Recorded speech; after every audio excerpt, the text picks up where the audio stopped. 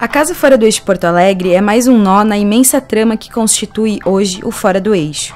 Rede de coletivos culturais presentes em todas as regiões do Brasil e alguns países da América Latina.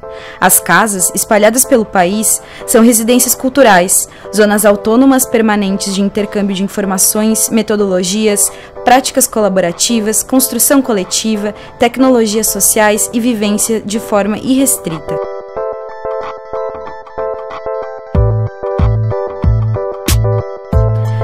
Criada em outubro de 2011 no mítico bairro Cidade Baixa, atua como uma das forças motrizes no movimento social das culturas, conectando grupos, parceiros, experiências e muitas tags.